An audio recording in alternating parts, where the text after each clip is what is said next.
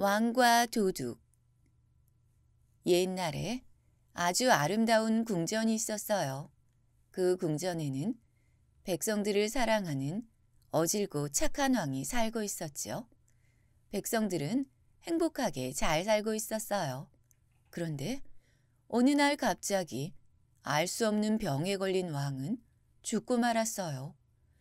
왕이 하늘나라로 떠나자 백성들과 그의 가족들은 슬픔에 잠겼어요. 아버지를 존경하고 사랑했던 왕자는 아버지의 뒤를 이어 왕이 되었지만 아버지를 잃은 슬픔 때문에 백성들을 돌보지 못했어요. 신하들은 왕이 된 왕자를 보며 걱정을 했어요. 왕이 되셨으니 백성들을 돌보고 나라를 다스려야 합니다. 아버지도 돌아가셨는데 내가 어떻게 나라를 다스릴 수 있겠느냐. 다들 나가거라. 왕은 신하들의 말을 들으려 하지 않았어요. 그러던 어느 날 욕심 많은 대신 한 명이 다른 신하들을 모두 자기 집으로 불러들였어요. 다들 걱정이 많으시지요. 임금이 나라를 돌보지 않고 저러고 있으니 어떻게 하면 좋겠습니까? 시간이 지나면 괜찮아지시겠지요. 조금만 더 기다려 봅시다. 아, 무슨 말씀입니까? 나라가 지금 엉망이 됐어요. 기다리긴 뭘 기다린답니까? 신하들은 모두 자기의 생각을 말하기 시작했어요. 새 임금은 아버지가 돌아가셔서 슬픔에 잠겨 있기도 하지만 여러 가지로 부족한 점도 많으니 총리께서 나랏일을 대신하시는 것은 어떠신지요? 그 말을 들은 총리는 속으론 기뻐했지만 표현할 수 없었지요. 아이, 내가 뭐 경험으로 본다면야 잘할 수야 있지만 이렇게 결정하기는 어려운 일이니 이야기를 나눠봅시다. 신하들은 이야기를 마치고 집으로 돌아갔어요. 다음 날, 그 다음 날도 총리의 집에 모여 매일같이 토론을 하고 회의를 했어요. 결국 총리를 왕위에 올리자는 의견이 모아졌지요. 이런 일들을 나라의 백성들까지 모두 알고 있었지만 새 임금만은 아무것도 알지 못하고 슬픔에만 잠겨 있었어요. 그러던 어느 날 궁궐에서 왕이 산책을 하고 있는데 어디선가 무슨 소리가 들리는 것 같았어요. 이게 무슨 소리지? 어디서 들리는 소리야? 왕은 귀 기울여 소리를 들었어요. 지혜를 팔아요. 지혜를 사세요. 그 소리는 지혜를 팔고 있다는 할머니의 목소리였어요. 지혜를 팔고 있다고? 왕은 신하에게 지혜를 파는 할머니를 모셔오라고 했어요. 잠시 후 백발의 할머니는 임금님을 만나게 되었지요. 여보시오, 지혜를 파신다고 했습니까? 예, 임금님. 저는 지혜를 팔고 있지요. 할머니의 말에 임금님은 지혜를 보여달라고 했어요. 자, 눈을 감고 제 목소리를 잘 들어보십시오. 임금님은 눈을 감고 할머니의 목소리에 귀 기울였어요. 잠자는 것보다는 깨어 있으세요. 깨어 있는 것보다는 앉아 있으세요. 앉아 있는 것보다는 서 있으세요. 서 있는 것보다는 걸어가세요. 음, 정말 지혜로운 말입니다. 임금님은 할머니에게 큰 상을 내려주었어요. 하지만 임금님은 방으로 들어오자마자 바로 침대에 누워버렸어요. 잠을 자려고 했지만 잠은 오지 않고 할머니의 말이 계속해서 생각났죠. 그래, 자는 것보다는 깨어있는 게 좋고, 깨어있는 것보다는 앉아있는 게 좋고, 앉아있는 것보단 서 있는 게 좋고, 서 있는 것보다는 걸어가는 게 좋다. 임금님은 침대에 일어나 앉았어요. 그리고 낡은 옷을 걸쳐 입고 궁궐을 나왔어요. 어두운 밤거리를 걷다 보니 백성들이 모여 앉아 있는 모습이 보였어요. 왕은 백성들이 모인 곳으로 가보았죠. 가까이 가보니 검은 옷을 입은 세 사람이 소곤거렸어요. 왕이 지켜보니 그들은 도둑이었어요. 나보단 둘이 낫고 둘보다는 셋이 낫고 셋보다는 넷이 낫지. 도둑들은 이렇게 말하는 임금을 보고 깜짝 놀랐어요. 하지만 낡은 옷을 입고 있는 사람이 임금이란 건 알 수 없었지요. 여보시오, 나도 당신들과 함께 일을 할 수 있을까요? 도둑들은 자기들끼리 서로 상의를 했어요. 첫 번째 도둑이 임금을 바라보더니 고개를 끄덕였어요. 좋습니다. 당신도 우리와 함께 합시다. 이렇게 해서 임금님은 도둑들과 이야기를 나누게 되었어요. 그런데 당신들은 무슨 일을 하는 겁니까? 임금의 말을 들은 두 번째 도둑이 대답해 주었어요. 우리는 도둑이네. 하지만 아직까지 큰 돈을 가져본 적은 없네. 옆에 있던 세 번째 도둑은 아주 심각한 얼굴이었어요. 뭔가 큰 건을 해서 돈을 벌 수 있는 일이 없을까? 도둑들의 말을 들은 임금은 자신 있게 알려주었어요. 이 나라 총리 되신 집에는 귀한 물건과 돈이 많다고 하니 그 집을 텁시다. 이 말을 들은 도둑들은 서로 얼굴을 바라보았죠. 좋은 생각이요. 당장 갑시다. 도둑들이 일어나려고 하자 임금은 그들을 멈추게 했어요. 그리고 회의를 하자고 했죠. 우리가 이 일을 성공시키려면 각자 자기가 잘할 수 있는 일을 해야 합니다. 그러니까 잘할 수 있는 것들을 이야기해 보세요. 그러자 첫 번째 도둑이 자랑했어요. 나는 사람을 잠들게 할 수 있지. 두 번째 도둑도 뽐내며 말했죠. 나는 어떤 열쇠든 다 열 수 있다오. 옆에 있던 세 번째 도둑도 지지 않고 말했어요. 나는 시끄럽게 짖는 개들을 조용히 시킬 수 있다고. 이렇게 으스대던 도둑들은 임금은 어떤 재주가 있는지 물었어요. 임금은 죽게 된 사람을 살릴 수 있다고 대답해 주었죠. 이렇게 해서 임금님과 도둑들은 회의를 끝내고 총리의 집으로 갔어요. 그들이 총리의 집에 살금살금 들어갔더니 조정의 신하들이 모두 모여서 회의를 하고 있었어요.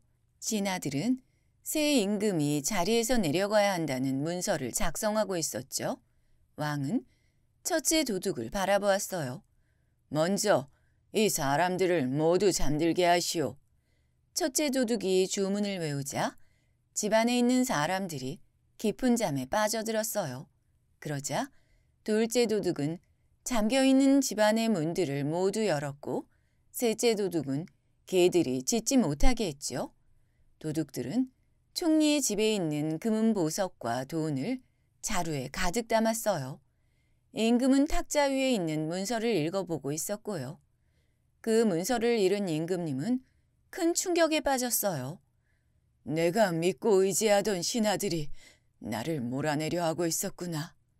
옆에 있던 도둑들은 임금의 마음을 알지 못하고 훔친 물건들을 들고 신이 났어요. 임금의 얼굴은 아주 어두웠어요. 오늘 훔친 물건들은 세 사람이 나누어 가지세요. 그리고 나서 임금은 도둑들에게 달개 깃털을 나누어 주었어요. 지금부터 내가 나눠준 달개 깃털을 머리에 꼭 꽂고 다니셔야 합니다. 도둑들은 달개 깃털을 바라보며 그렇게 하겠다고 약속했어요. 임금은 곧바로 궁전으로 돌아가고 도둑들은 훔친 물건을 가지고 신이 나서 각자 집으로 돌아갔죠. 다음 날 총리와 신하들은 궁전에 모여 왕을 몰아내려는 회의를 하고 있었어요. 임금이 그들에게 다가가자 총리와 신하들은 깜짝 놀랐지요. 총리께서 그동안 내 대신 나란 일을 맡아보느라 고생이 많았습니다. 그동안 있었던 일들을 듣고 싶으니 이야기해 주시오. 아, 임금님, 걱정할 것 없습니다. 백성들은 걱정 없이 잘 지내고 있습니다. 왕은 무서운 얼굴로 총리를 바라보았어요. 내가 들어보니 종리의 집에 도둑이 들었다고 하던데 별일이 없단 말입니까? 총리는 임금의 말에 대답하지 못했어요. 임금은 직접 도둑을 잡겠다며 백성들을 궁궐에 불러들이라 명령했어요. 임금은 백성들을 살펴보더니 달개 깃털을 머리에 꽂고 있는 세 사람을 찾아냈죠. 이 자들이 도둑이다. 재판을 하고 처형을 하도록 하거라. 도둑들은 억울하다며 울먹였어요. 아, 임금님, 종리의 집에서 도둑질을 한 것은 사실이지만 저희 말고 또 한 사람 있습니다. 예, 맞습니다. 다른 사람이 한 명 더 있습니다. 종리의 집에 보물이 많다고 알려준 것도 그자입니다. 도둑들이 임금께 울먹이며 말을 하자 임금은 활짝 웃으며 달개 깃털을 꺼내 머리에 꽂았어요. 도둑들이 감옥에 들어가자 임금님은 큰 소리로 명령했어요. 종리는 나를 배신하고 나를 몰아내려는 음모를 꾸미고 있었다고 하던데 사실입니까? 아이고 아닙니다 임금님. 무슨 말씀을 하시는지 모르겠습니다. 왕은 총리 집에서 가지고 온 문서를 총리에게 보여주었어요. 총리는 왕을 바라보더니 생각에 잠겼죠. 임금님, 제가 임금님을 내치려 했던 것이 아닙니다. 또한 임금의 자리를 탐냈던 것도 아닙니다. 임금님께서 슬픔에만 잠겨 나란 일을 제대로 돌보지 못하니 백성과 나라를 생각해서 그렇게 한 것입니다. 이 말을 들은 임금은 그동안 자기의 행동을 반성하며 고민했어요. 종리, 내가 지난 몇 달 동안 임금으로서 제대로 서지 못했소. 미안하게 생각하오. 앞으로는 나를 도와 이 나라와 백성을 위해 더욱더 열심히 일해 주시오. 모든 신하들과 총리는 임금의 변한 모습에 기뻐했어요. 그리고 임금과 백성들에게 충성할 것을 약속했지요. 그리고 감옥에 가둔 세 명의 도둑들은 훈련을 잘 시켜 왕의 무사들로 쓰도록 하세요. 그날 이후 임금님은 현명하고 지혜로운 임금으로 오래오래 백성들을 행복하게 해주었어요.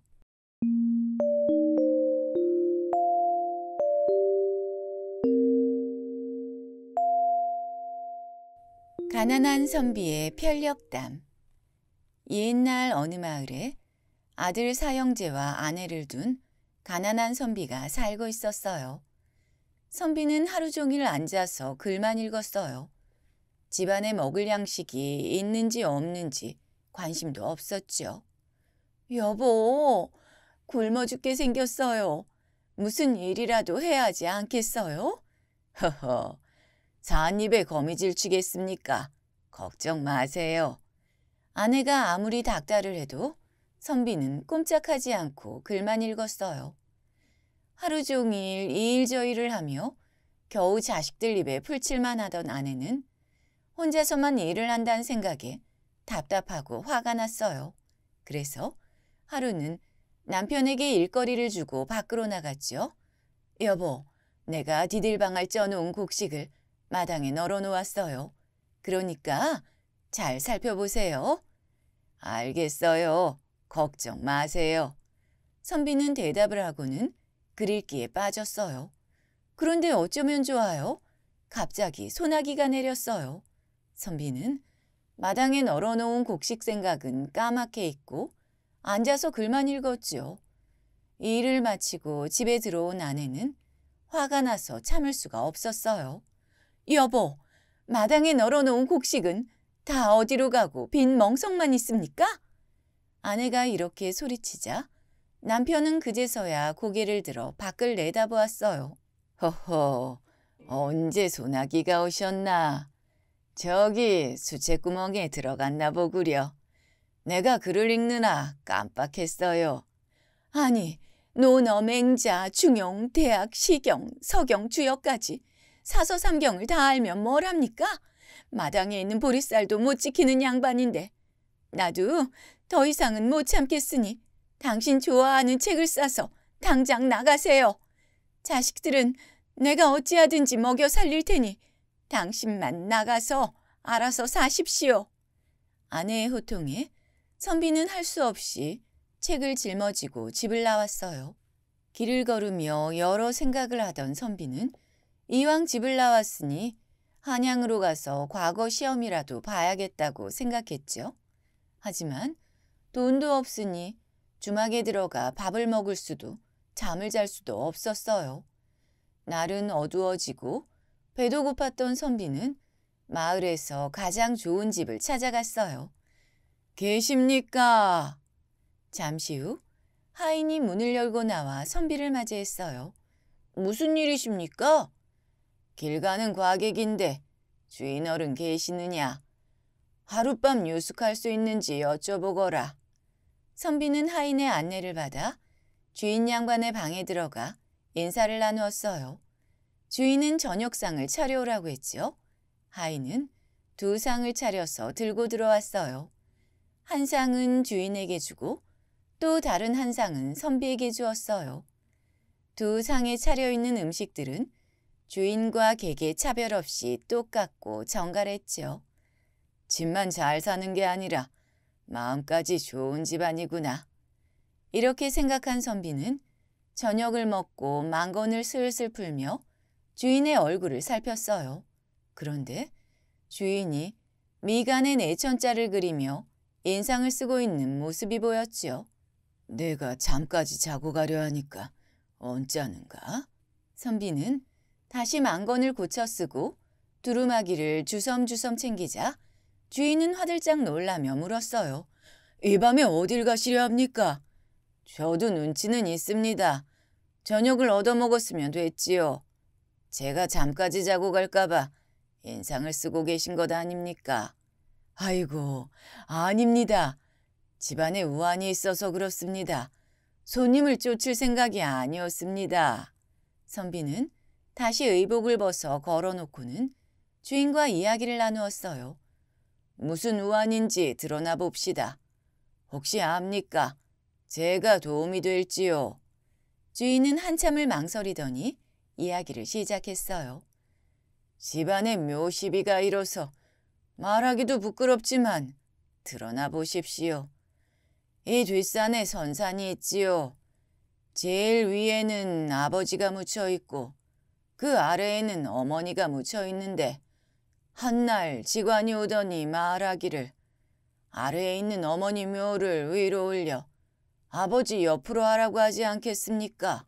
그렇게만 하면 명당의 부부가 나란히 묻혀 있으니 자자손손 부귀 영화를 누릴 거라고 하면서요. 아 그런데 한 달포 전에 우리 사촌 아우가 자기 아버지가 돌아가시자 우리 아버지 옆에 자기 아버지를 모셨지요. 직관의 말을 안 들었으면 몰라도 아이 듣고 나니 이장을 하고 싶은데 사촌 아우가 이장을 안 하겠다고 합니다. 그래서 내가 이렇게 걱정을 하고 있습니다. 주인의 말을 들은 선비는 지필묵을 청해서 편지를 썼어요. 선비는 그 편지를 주인에게 주며 사촌 아우에게 보내라고 했지요. 주인의 심부름으로 하인은 편지를 전하고 돌아왔어요. 그런데 선비의 편지를 읽고 난 사촌 아우에게서 당장 묘를 이장하겠단 연락이 왔지 뭐예요. 아니 뭐라고 쓰셨길래 당장 묘를 이장한다고 합니까? 선비는 미소를 지었어요. 그냥 사실대로 써서 보냈습니다. 부부가 누워있는 사이에 자식도 눕기가 어려운데 어찌 형과 형수 사이에 동생이 누워있습니까? 이렇게 써서 보냈지요. 다음날 사촌 아우는 묘를 이장했고 선비는 짐을 챙겨 집을 나오려고 했어요. 그런데 주인이 선비를 붙잡고는 가지 못하게 했어요. 선비님의 글을 보니 보통 분이 아니신 것 같은데 이왕 인연이다 우리 집에 오셨으니 우리 집 족보라도 좀 만들어 주시고 가시지요. 내가 족보값은 넉넉하게 치르겠습니다. 선비는 빨리 가야 할 곳도 없고 돈도 준다고 하니 마다할 이유가 없었지요. 주인에게서 받은 돈은 자식과 아내에게 보내고 선비는 그 부잣집에서 족보를 만들어주며 몇 달을 보냈어요. 시간은 흘러 족보를 다 만들어주고 선비는 다시 한양으로 길을 나섰어요. 한참을 걷다 보니 허기도 지고 힘도 들었지요. 주인에게서 받은 돈도 모두 본가로 보낸 터라 선비에게는 남은 돈이 하나도 없었어요. 그래서 또다시 마을에서 가장 큰 집으로 가보았지요. 커다란 기와집 대문은 열려 있고 사람들은 여기저기에 앉아서 음식을 먹고 있었어요. 이 집에서 잔치를 하나 보네. 나도 막걸리나 한 잔 얻어 먹을 수 있겠네. 선비가 집 안으로 들어가자 하인들은 선비를 맞으며 반겨주었어요. 그리고 사내 진미가 차려진 상을 내오는 게 아니겠어요? 선비는 배가 고프던 차에 허겁지겁 음식을 먹었지요. 음식을 먹고 나자 배탈이 났던지 선비는 바지를 움켜잡고 화장실로 들어가 볼일을 봤어요. 볼일을 보고 나오며 여기저기 둘러보다가 깜짝 놀라고 말았어요. 벽에 붙은 방을 보니 선비가 들어간 집은 영희정의 집이었고 영희정은 알 수 없는 병에 걸려 누워 있다고 써 있었어요. 집안 가득 들어앉은 사람들은 모두 의원들이었던 거예요. 영희정의 아들은 대청마루에 올라가 큰 소리로 말했어요. 여러 의원님들 중 아버지의 병을 고쳐주시는 의원님께는 재산의 반을 드리겠습니다. 선비는 글은 많이 읽었지만 병증에 대해서는 잘 알지 못했어요. 사내 진미를 얻어먹긴 했지만 거기 앉아서 영의정을 돌볼 수는 없었지요. 선비는 슬슬 도망갈 준비를 하며 두리번거렸어요. 그때 영의정의 아들이 선비에게 찾아왔어요. 의원님, 한상 잡수셨으면 이제 아버님 계신 방으로 가보시겠습니까? 선비는 할 수 없이 영의정의 아들을 따라 들어갈 수밖에 없었어요. 선비는 영의정의 맥을 보기도 하고 이마를 짚어보기도 하고 톡톡 두드려보며 의원 흉내를 냈어요. 허허, 이거 참 큰일입니다. 의원님, 우리 아버지의 병이 무슨 병입니까? 병명이라도 알려주십시오. 이런 중병을 진맥 한 번에 어찌 알아내고 고칠 수 있단 말씀이십니까? 한 사흘 이 방에서 지켜보겠습니다. 영희정의 아들은 다른 의원들과 달리 선비가 아버지의 병을 고칠 수 있다는 생각이 들자 마음이 기뻤어요. 선비는 이러지도 저러지도 못하고 영희정과 한방에서 지내게 되었지요. 밤이 깊어지자 영희정은 입에 거품을 물며 벌떡 일어나 앉았다가 다시 쓰러지기도 했어요. 선비는 무섭고 두려웠지만 방을 나갈 수도 없었어요. 첫째 날이 지나고 아침이 되었어요. 하인들은 인삼을 넣은 달글과 선비에게 주며 지극정성으로 선비를 대접했어요. 사흘 동안 주는 밥이나 잘 먹고 도망가야겠다. 선비는 이렇게 생각하며 이틀 밤을 지내고 사흘째 밤이 되었어요. 같이 누워있기도 심심해서 영의정 방에 있는 책들을 살펴보았죠. 많은 책들을 보았지만 자기가 보지 못했던 책들도 있었어요. 다락방 구석에 누렇게 뜬 책이 보이자 꺼내서 읽어보았죠.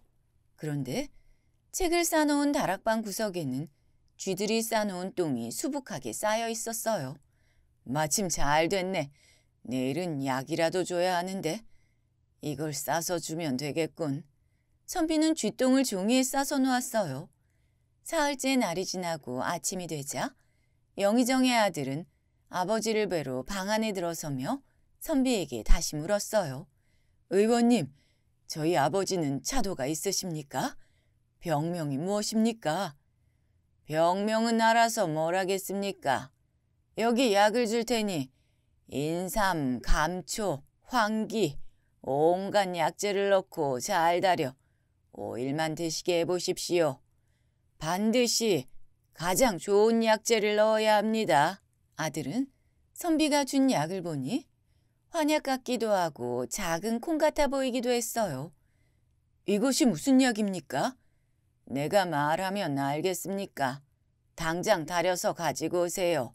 아들은 산에서 나는 귀한 약초는 모두 캐서 쥐똥과 함께 다려 아버지께 드렸어요. 하루 이틀 사흘이 지나고 닷새째가 되자 이게 웬일이에요? 산에서 캐온 약초 중 어떤 약이 효염이 있었는지 모르지만 영희정의 병세가 나아진 게 아니겠어요? 영희정은 이제 일어나 앉을 수 있게 되었어요. 이제 내가 미음이라도 먹을 수 있을 것 같구나. 이렇게 말을 하며 귀한 곡식과 재료들로 죽을 끓여 먹은 지 또 5일이 지나자 병이 다 나은 것 같아 보였어요. 의원님, 약속대로 재산의 반을 드리겠습니다. 하지만 우리와 같이 3년만 살았으면 좋겠습니다. 아버지의 병환이 다시 도질 수 있으니 3년만 계셔 주십시오. 아들의 간곡한 부탁에 선비는 3년을 영의정 집에 살면서 지체 높은 양반이란 양반은 모두 만났어요. 어느덧 세월이 흘러 3년이 지나고 선비는 집에 있는 가족들도 보고 싶었지요. 내가 이제 집에 돌아가야겠습니다. 선비는 영의정과 인사를 나누고 고향집으로 돌아갔어요. 고향집에 가보니 쓰러져가는 초가집은 간 곳이 없고 멋진 기와집이 지어져 있었죠. 선비가 편력을 하며 보내준 돈으로 가족들은 편히 먹고 살 수 있었거든요. 아내는 물론이고 아들 사형제는 오랜만에 아버지를 만나자 너무 기뻤어요. 아버지 덕분에 저희는 고생 없이 살았습니다.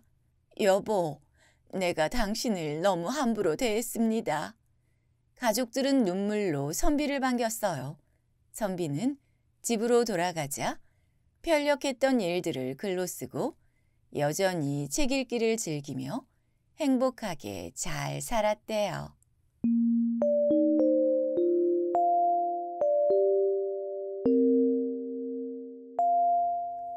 색시를 찾아준 암행어사 옛날 어느 시골 마을에 암행어사가 백성들의 생활을 살피며 다니고 있었어요.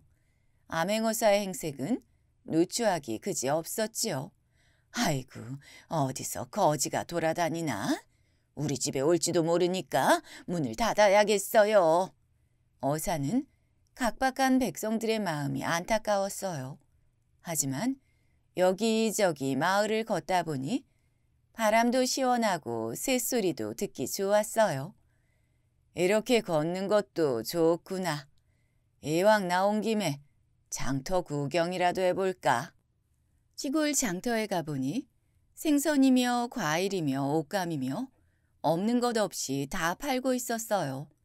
장터에 나온 사람들은 모두 바쁘게 살고 있었어요.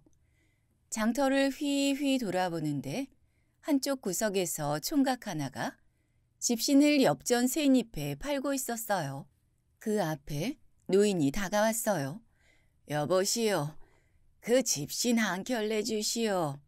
예, 두 잎입니다.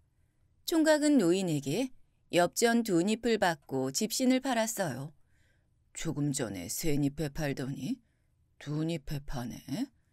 집신의 가격을 다르게 받는 것이 궁금했던 어사는 총각에게 물었어요. 여보시오, 총각. 집신 가격이 공평하지가 않습니다. 누구는 두 잎을 받고 누구는 세 잎을 받는 겁니까? 선비님께서 모르셔서 하시는 말씀입니다. 집신을 자세히 보면 어르신께 판 집신은 모양이 좀 좋지 않습니다. 나이 많은 노인을 속여서는 안 되지요. 안 좋은 집신을 똑같은 값에 팔면 안 되지요. 어사는 총각의 마음됨이 옳고 바른 것에 감탄했어요.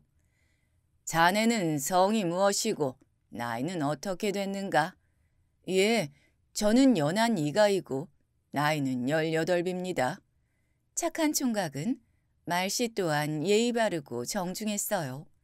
마침 갈 곳도 없었던 어사는 총각의 집에서 하룻밤 묵어갈 수 있겠느냐고 청했지요.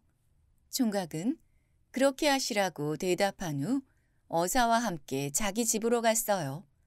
총각을 따라 걷다 보니 산속으로 계속해서 올라가기만 했어요. 죄송합니다, 선비님. 저희 집이 저 산중에 있습니다. 괜찮습니다. 나는 잘 걷고 있으니 걱정 마십시오. 드디어 총각의 집에 도착했어요. 집에는 홀어머니와 한 살 어린 여동생이 있었어요. 가족들은 총각과 선비를 반가이 맞아주었지요. 이 누추한 곳에 손님이 오시니 참으로 반갑고 좋습니다. 어머니는 불을 떼고 죽을 끓여서 내왔어요. 죽이라도 드시지요. 손님께 대접을 못해서 죄송합니다. 아닙니다. 괜찮습니다. 김선비는 대접받은 죽 한 그릇을 맛있게 먹었어요. 저녁을 먹고 나자 총각은 잠잘 준비는 하지 않고 책을 꺼내서 읽었어요. 장터에 다녀와서 피곤할 텐데 뭐라고 있습니까? 예, 글을 읽습니다. 어서 읽고 내일 장에 팔 신을 만들어야지요. 총각이 읽는 책을 가만히 살펴보니 아주 수준이 높아 보였어요. 다음 날 아침이었어요. 총각은 어디를 갔는지 보이지 않았어요. 두리번거리며 총각을 찾는데 대문 안으로 들어오는 모습이 보였어요. 아이고, 이 식전부터 어딜 다녀옵니까? 예, 나무를 해놓아야 어머니와 동생이 쓸 수 있지 않습니까? 좀 있으면 또 장터에 나가야 하니 식전에 해야 합니다. 총각은 몸을 바쁘게 움직이며 대답했어요. 총각은 일을 하고 어머니와 여동생은 손님 대접을 해야 한다며 밥을 하고 나무를 묻히며 정성스럽게 조반상을 차려왔어요. 선비는 맛있게 밥을 먹고 마당에 나와 앉아 있었죠. 그런데 늙은 노모가 부엌 구석에 쪼그려 앉아 울고 있는 게 아니겠어요? 선비는 어머니에게 조심스럽게 다가갔어요. 왜 울고 계십니까? 속 시원하게 말씀이라도 해보세요. 혹시 압니까? 제가 도와드릴 수 있을지 모르지 않습니까? 어머니는 한참을 망설이다가 이야기했어요. 예, 내가 이렇게 살고 있으니 며느리 될 아이도 빼앗겼습니다. 사실 아랫동네에 장진사 댁이 있는데 그 집과 우리 집이 친하게 지냈습니다. 한해 그 집에서는 딸을 낳고 나는 아들을 낳았습니다. 애들이 한 일곱 살쯤 됐을 때 약혼을 했지요. 애들 약혼을 시켜놓고 우리 남편이 하늘로 갔습니다. 남편이 죽고 나자 집이며 논밭도 다 팔아먹고 살 길이 없어 여기 산중터까지 와서 살고 있습니다. 그런데 오늘 그 집에서 딸의 혼례를 치른다고 합니다. 자식들이 어릴 때 약혼을 했지만 없이 사는 형편에 진사댁 딸을 맞이할 수도 없었어요. 노모는 예정을 생각해서 혼례 때 쓰라고 술을 빚어 선물하려고 마음먹었지만 술을 뜰 때마다 눈물을 흘렸어요. 어사는 갑자기 지필묵을 꺼내더니 편지를 써서 총각에게 주었어요. 내가 심부름 값을 줄 테니 이 편지를 가지고 아랫마을 원님께 전하고 오너라. 우리 집에 오신 손님의 심부름인데 무슨 돈을 받겠습니까? 총각은 편지를 들고 집을 나섰어요. 어머니는 홀리하는 집에 선물할 술단지를 봉하고 있었고요. 우리 아이 올 때까지 쉬고 계십시오. 저는 이 술을 전하고 오겠습니다. 김선비는 술단지를 이고 가는 어머니를 따라 나섰어요. 그 장진사 댁이 부자입니까? 예, 천석지기입니다. 그럼 나도 가서 잔치국수라도 얻어먹어야겠습니다. 김선비는 총각의 어머니와 함께 장진사 댁으로 가고 총각은 원님께 편지를 전하고 답장을 기다리고 있었어요. 그런데 원님은 답장은 쓰지 않고 총각을 멍하니 바라보았지요. 원님, 빨리 답장을 주십시오. 저는 가서 일해야 합니다. 원님은 답장 대신 총각을 마루 위로 올라오게 했어요. 그리고 하인들에게 명령을 했어요. 가서 목간통에 물을 데우고 이 총각을 목욕시키거라. 그리고 총각에게 비단 옷을 입히거라. 이방과 형방들은 총각을 붙들고 머리를 풀어 상투를 틀어주고 사모간대를 씌우고 예복까지 입혔어요. 왜, 왜 이러십니까? 우리는 원님의 명을 따를 뿐입니다. 원님은 총각을 보며 만족스러운 듯이 웃었어요. 그리고 자기가 앞장서고 총각은 뒤에 따르라 하며 장진사 댁으로 행차를 했죠. 마을 사람들은 장진사 댁 신랑이 온다며 구경을 나왔어요. 장진사 댁에서는 신랑이 너무 일찍 온다고 생각하며 밖으로 나와 보니 신랑이 아니라 원님이 행차를 하고 있는 거였어요.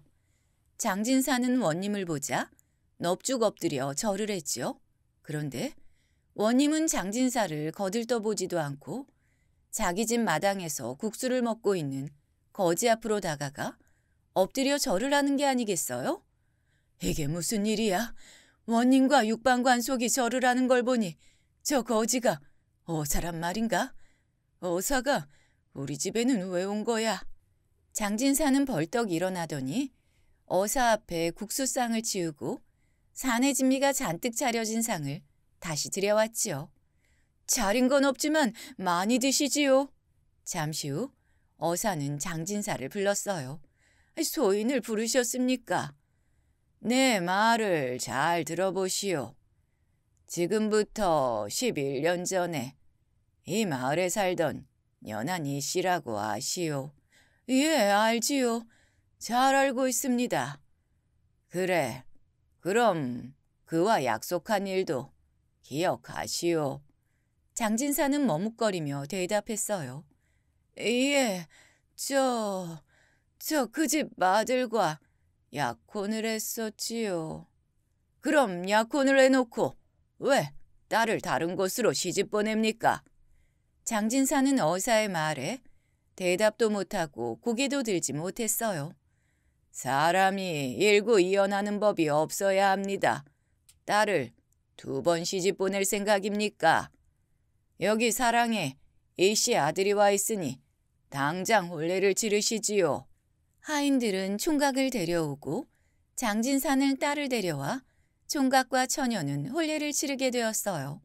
한편 장진사 딸과 혼례를 하기로 했던 총각이 찾아왔죠. 무슨 일인지 몰라서 당황해하는 총각에게 어사가 다가갔어요. 자네, 이댁 딸보다 참한 색시가 있는데 혼례를 하겠나?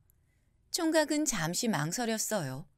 예, 예, 좋습니다.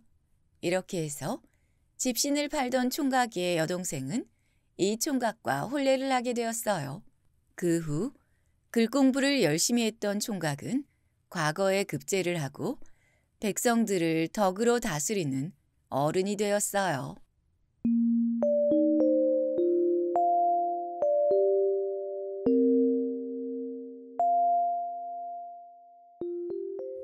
마음 착한 셋째 아들과 황금 거위 옛날 어느 마을에 아들 삼형제를 둔 집이 있었어요. 그 집 아들 중 첫째와 둘째 아들은 아주 영리했지만 욕심이 많았어요. 막내 아들은 항상 양보하고 참으며 늘 웃고 다녔죠. 이런 막내를 보며 형들은 바보라고 놀려댔어요. 하루는 큰 형이 숲으로 나무를 하러 갔어요. 어머니는 큰형에게 맛있는 빵과 포도주를 싸주었어요. 나무를 하다가 힘들고 배고프면 이걸 먹고 쉬도록 하거라. 예, 알겠어요, 어머니. 제가 나무를 많이 해올 테니까 걱정 말고 계세요. 큰형은 어머니가 싸준 빵과 포도주를 가지고 숲으로 갔어요.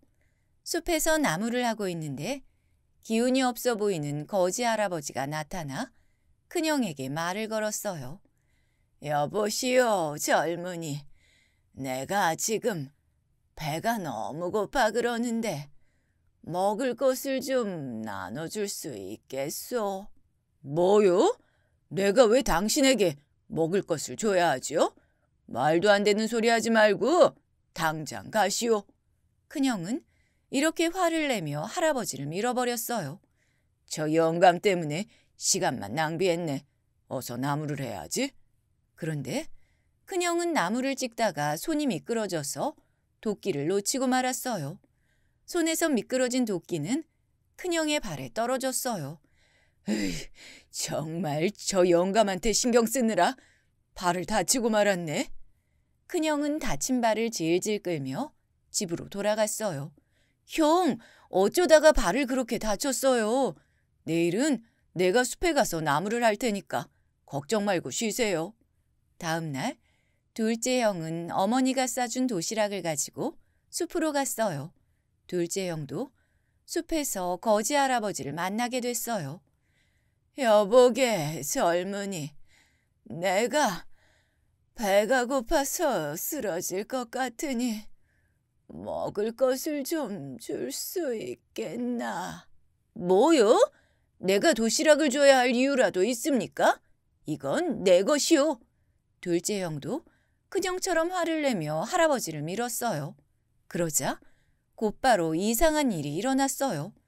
둘째 형도 큰형과 똑같이 손이 미끄러져서 도끼를 놓치는 바람에 발을 다치고 말았어요. 경님들 걱정 마세요. 내일은 제가 숲에 가서 나무를 할게요. 쉬고 계세요. 셋째의 말을 들은 어머니는 걱정을 했지요. 얘야, 저렇게 똑똑한 형들도 나무를 하다가 다쳤는데 네가 어떡하려고 그러는 거니? 너는 그냥 집에 있거라. 어머니, 저도 할 수 있어요. 그리고 저도 숲에 가서 나무를 해보고 싶어요. 날마다 저만 집에 있잖아요. 한 번만 보내주세요. 한참을 생각하던 어머니는 조심해서 다녀오라며 허락해 주었어요.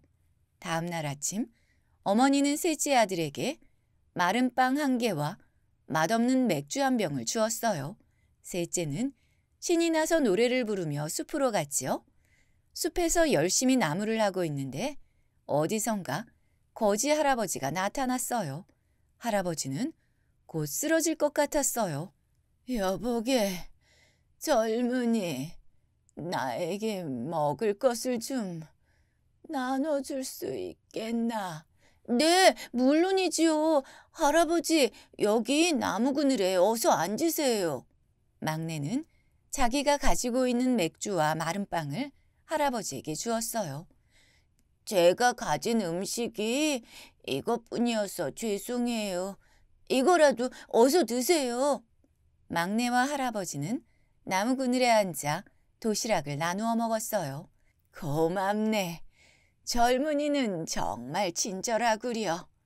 내게 음식을 나누어 주었으니 나도 보답을 하겠네. 저기 저 죽은 나무를 베어보게. 그러면 좋은 일이 일어날 것이네. 할아버지는 이렇게 말을 하고 어디론가 사라져 버렸어요. 어? 할아버지는 어디 가셨지? 저 나무를 베어보라고 했지? 막내는 할아버지가 알려준 죽은 나무를 도끼로 찍어보았어요. 하지만 나무는 잘 베어지지 않았죠. 막내는 해가 질 때까지 계속해서 도끼질을 했어요. 그러자 드디어 나무가 쓰러졌어요. 어, 이게 뭐야? 나무 안에 황금 거위가 있네? 막내는 깜짝 놀랐어요. 막내는 황금 거위를 품 안에 꼭 안고 숲을 떠났어요. 그런데 밤이 너무 깊어서 집으로 돌아갈 수가 없었어요. 안 되겠다. 저기 여관에서 하룻밤 쉬어가야겠어. 막내가 들어간 여관집에는 딸이 셋 있었어요. 세 딸들은 황금 거위를 신기하게 바라보았어요. 그러면서 속으로 생각했지요. 이따가 이 사람이 잠들고 나면 황금 거위의 깃털 하나만 뽑아야지. 깃털 하나 뽑는다고 누가 알겠어? 하루 종일 도끼질을 하느라 피곤했던 막내는 황금 거위를 옆에 놓고 눕자마자 바로 잠이 들었어요. 여관집 큰딸은 조심조심 막내가 잠든 방으로 들어왔어요. 깊은 잠에 빠졌겠지? 그렇다면 황금거위의 깃털을 하나만 가져가야지. 큰딸이 황금거위의 깃털에 손을 대자 이상한 일이 일어났어요. 큰딸의 손이 거위 깃털에 달라붙어서 떨어지지 않았어요. 어? 이를 어쩌면 좋아? 어떡하지? 큰딸이 아무리 손을 떼려고 해도 떨어지지 않았어요. 큰딸은 훌쩍이며 거위 옆에 앉아 있었어요. 바로 그때 둘째 딸도 거위 깃털을 뽑으려고 막내 아들이 자고 있는 방으로 들어왔어요. 울고 있는 큰딸을 본 둘째는 속삭였어요. 언니, 왜 그래요? 내가 도와줄게요. 둘째 딸이 큰딸의 몸에 손을 댔어요. 그러자 둘째 딸의 손이 큰딸의 몸에서 떨어지지 않았어요. 언니, 어쩌면 좋아요? 큰딸과 둘째 딸은 울먹이고 있었어요. 잠시 후 셋째 딸이 나타났어요. 셋째야, 다가오지 마. 우리 몸에 절대로 손을 대면 안 돼. 왜요? 언니, 내가 도와줄게요. 셋째 딸이 둘째의 몸에 손을 대자 셋째 딸의 손이 둘째의 몸에 달라붙어 떨어지지 않았어요. 다음 날 아침 막내 아들은 황금 거위를 안고 여관을 떠났어요. 아가씨들은 할 수 없이 황금 거위에 손을 붙인 채 막내 아들을 따라가야 했어요. 막내 아들과 아가씨의 모습을 본 길 가던 할머니는 한심하다는 듯이 바라보았어요. 아이고, 지금 뭐라고 있느냐? 다 큰 아가씨들이 남자를 졸졸 따라가고 있다니. 음, 어서 집으로 돌아가거라. 할머니가 이렇게 잔소리를 해도 아가씨들은 막내 아들을 따라갈 수밖에 없었어요. 할머니는 아가씨들을 따라가서 셋째 딸을 붙잡았지요. 그러자 할머니의 손이 셋째 딸의 몸에 달라붙었어요. 할 수 없이 할머니도 아가씨들과 함께 막내 아들을 따라갔어요. 이 모습을 본 할머니의 며느리가 쫓아왔어요. 어머님, 어딜 가세요? 집에 가셔야지요. 며느리는 할머니를 붙잡았어요. 그러자 며느리의 손도 할머니의 몸에 달라붙어 버렸어요. 그때 밭일을 하던 농부들이 이 모습을 보았어요. 저게 무슨 일이야? 정말 웃기는 일이네. 농부들은 큰 소리로 웃기 시작했어요. 여보세요! 농부님들 좀 도와주세요! 며느리는 농부를 향해 소리쳤어요. 그러자 농부들은 달려가서 차례대로 행렬의 뒤에 달라붙고 말았죠. 결국 세 딸과 할머니, 며느리와 농부들은 막내 아들을 따라갈 수밖에 없었어요. 그래도 막내는 모른 채 하며 계속 걸었지요. 한참을 걷던 막내는 임금님이 사시는 궁궐 앞을 지나가게 되었어요. 임금님에게는 아름다운 공주님이 있었어요. 하지만 언제나 슬픈 얼굴을 하고 있을 뿐 웃지 않는 병에 걸려 있었어요. 임금님은 공주의 병이 깊어지자 몹시 괴로워했어요. 그래서 누구든지 공주의 병을 고치는 사람에게는 큰 상을 내리고 공주와 결혼을 시켜주겠다고 했어요. 하지만 누구도 공주를 웃게 할 수는 없었어요. 공주야, 우리 같이 산책이라도 하자. 임금님은 공주와 함께 궁궐 근처를 산책하고 있었어요. 그때 막내가 거위를 안고 궁궐 앞을 지나가고 있었죠. 막내의 뒤에는 줄줄이 이어서 세 딸과 할머니, 며느리와 농부들이 줄지어 따라가고 있었고요. 그 모습을 본 공주는 갑자기 웃기 시작했어요. 저게 뭐야? 정말 우스워. 저게 뭐야? 공주가 큰 소리로 웃자 임금님과 궁궐의 신하들은 모두 기뻐했어요. 이때 막내는 임금님께 다가갔지요. 공주를 웃게 했으니 약속대로 결혼을 시켜주십시오. 막내의 말을 들은 임금님은 깊은 생각에 잠겼어요. 공주를 웃게 만든 사람과 결혼을 시키겠다고 약속은 했지만 모자라 보이는 막내 아들이 마음에 들지 않았거든요. 나는 포도주를 잘 마시는 사위가 있었으면 좋겠는데 자네가 창고 안에 있는 포도주를 모두 마신다면 결혼을 허락하겠네. 네? 포도주를요?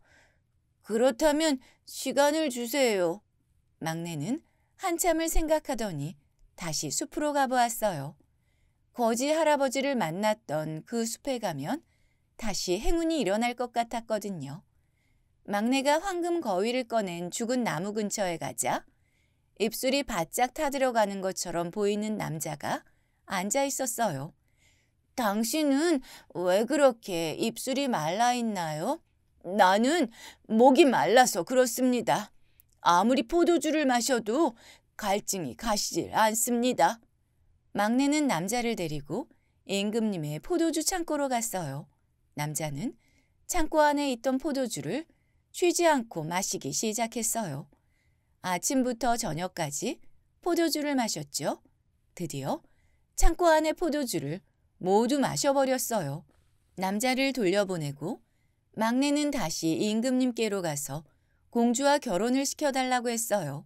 임금님은 창고 안에 포도주가 바닥이 난 것을 보고 깜짝 놀랐지만 막내를 공주와 결혼시키고 싶지 않았어요. 그렇다면 한 가지 더 해보게. 나는 아주 잘 먹는 사위를 맡고 싶네. 저기 창고 안에 쌓여 있는 빵을 다 먹을 수 있다면 그땐 공주와 결혼을 시켜주지. 막내는 다시 숲으로 갔어요.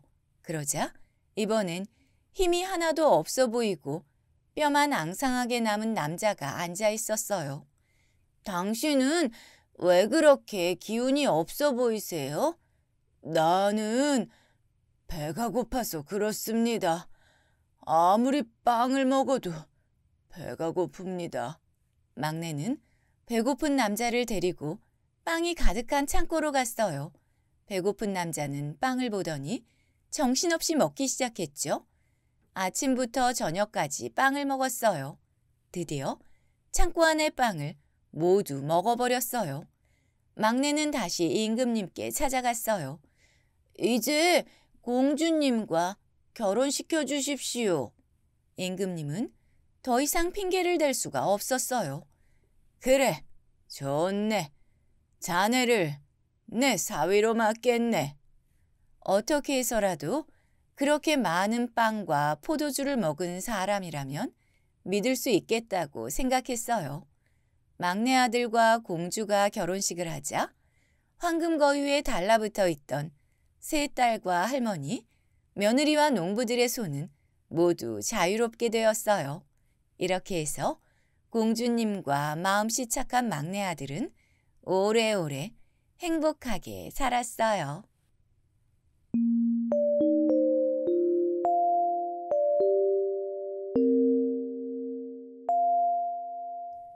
물의 요정과 아름다운 소년 옛날에 수영을 좋아하는 아름다운 소년이 살고 있었어요.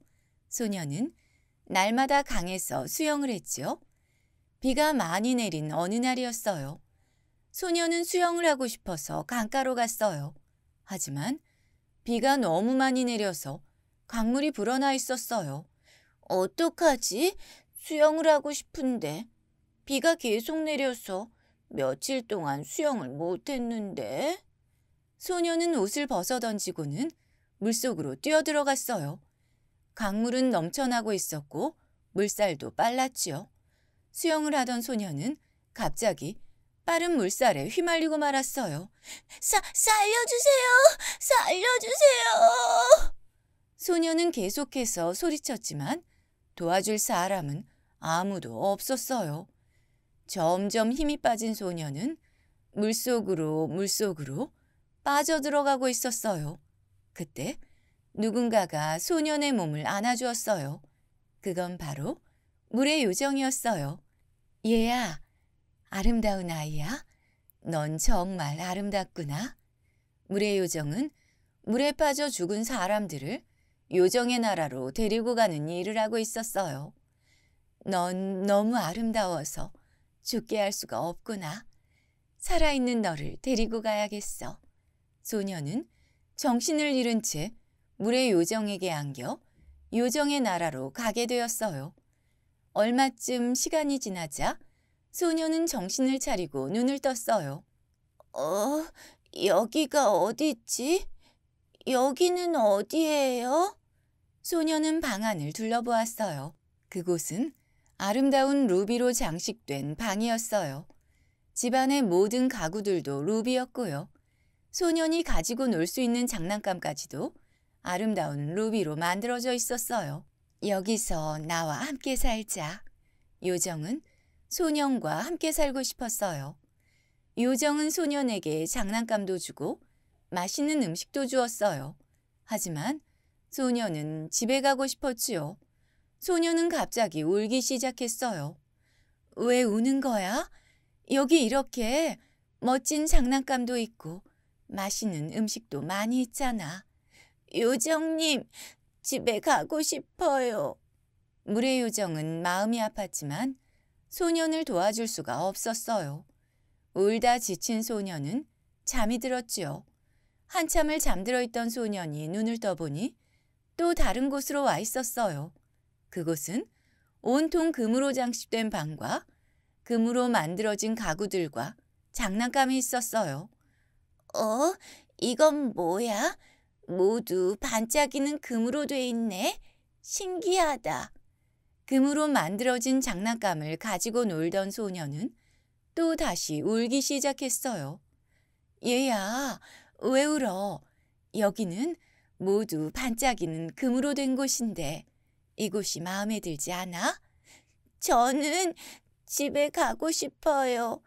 형이랑 누나도 보고 싶고. 얘야, 너희 집에 가면 여기보다 좋은 것들이 있니? 그냥 여기서 나와 함께 살자. 요정이 아무리 소년을 달래봐도 소년은 계속해서 울었어요.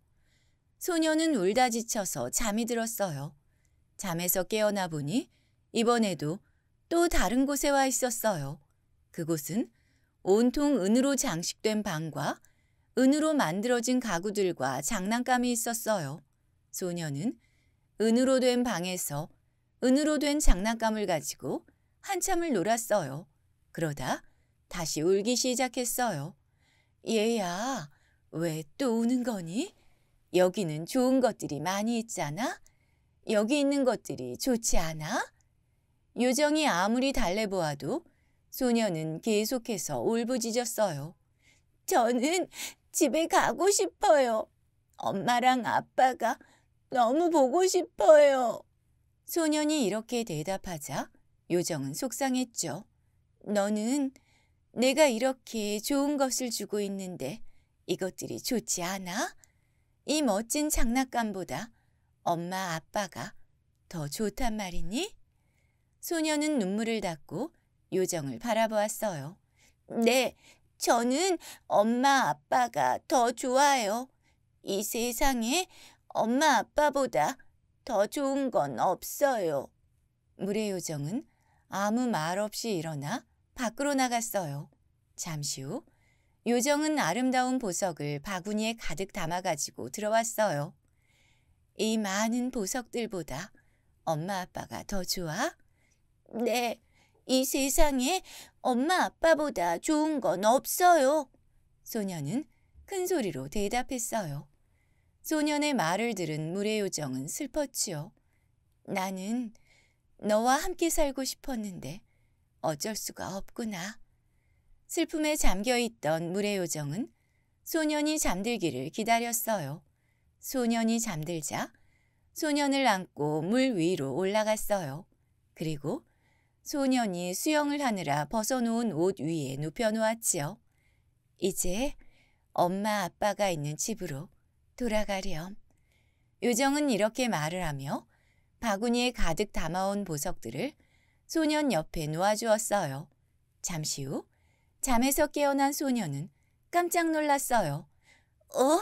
내가 벗어놓은 옷이 그대로 있네? 여기는 내가 수영을 하던 곳인데? 꿈을 꾸었나? 소녀는 일어나서 옷을 입고 옆을 보자 거기에는 요정이 놓고 간 보석 바구니가 있었어요. 이, 이건 꿈이 아니었어. 소녀는 보석 바구니를 들고 엄마 아빠가 있는 집으로 달려갔어요. 엄마, 아빠, 형, 누나, 제가 왔어요. 집안에 있던 가족들은 소년이 돌아오자 기뻐하며 서로 꼭 안아주었어요. 이 모습을 지켜보던 물의 요정은 더욱더 슬퍼졌어요. 내가 사는 곳이 가장 아름답고 좋은 곳이라고 생각했었는데 아니었나 봐. 저 소년의 집에는 더 아름답고 좋은 가족이라는 보물이 있었네. 나는 지금까지 가족이란 보물을 몰랐어. 슬픔에 잠긴 요정은 소년의 가족을 바라보며 쓸쓸히 요정의 나라로 돌아갔어요.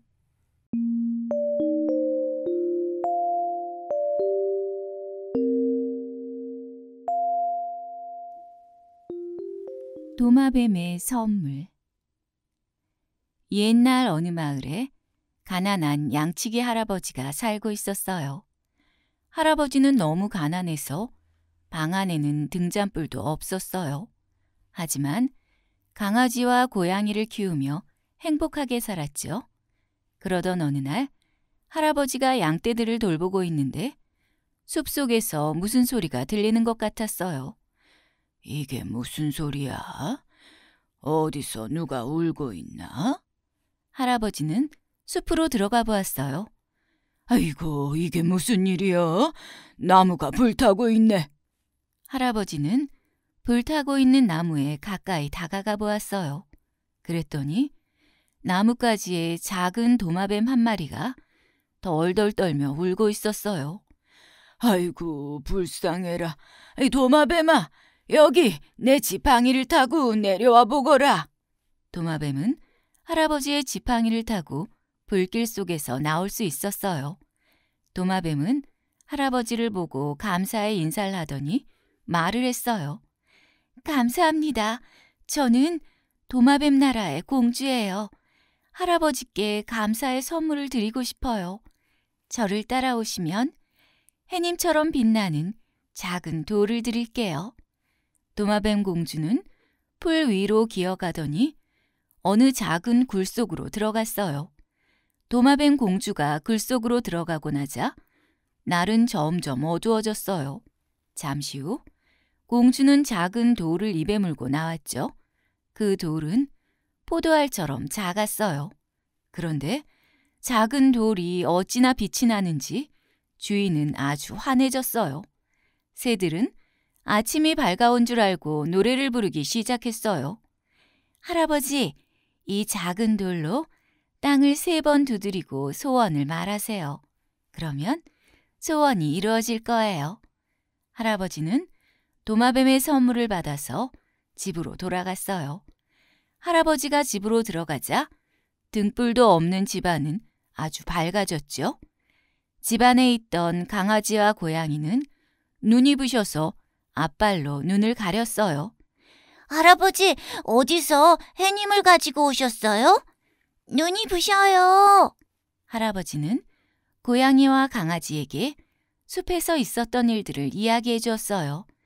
나는 이렇게 집도 있고 양떼도 있고 아니 너희도 있고 저녁이 되어도 이렇게 밝은 빛이 있으니 바랄 게 없구나. 할아버지는 잠자리에 누워서 잠을 자려고 했지만 잠이 오지 않았어요. 이 생각 저 생각을 하다가 도마뱀 공주의 말이 떠올랐죠. 이 돌이 소원을 들어준다고 했는데 정말일까? 할아버지는 한참을 생각하다가 소원을 빌어보기로 했어요. 이 돌을 바닥에 세 번 두드리고 소원을 빌라고 했지? 무슨 소원을 빌까? 아이고, 아이고, 그래.